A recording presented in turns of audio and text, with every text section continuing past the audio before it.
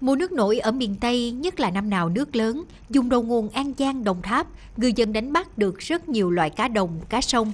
Trong đó, loại cá chạch lấu sông được xem là một trong những loài cá đặc sản hiếm.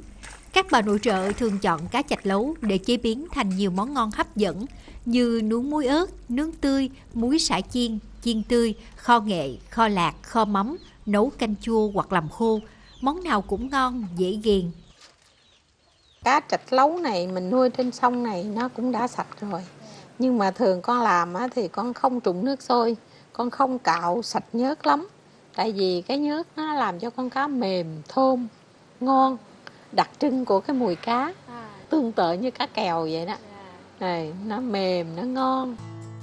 Cá chạch lấu thịt mềm nên chỉ cần kho khoảng 20 phút là có thể dùng được. Mùi thơm của nghệ, của xả, qua quyện làm cho món ăn trở nên hấp dẫn hơn khiến người chế biến còn cảm thấy nức lòng chứ nói gì đến thực khách chưa một lần được thưởng thức.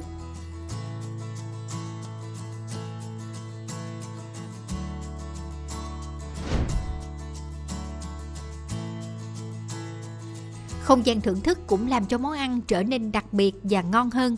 Cụ thể như trên chiếc bè cá này, được nhìn khung cảnh mênh mông, một chút trồng trành của sóng nước cũng khiến cảnh vật nên thơ đến lạ.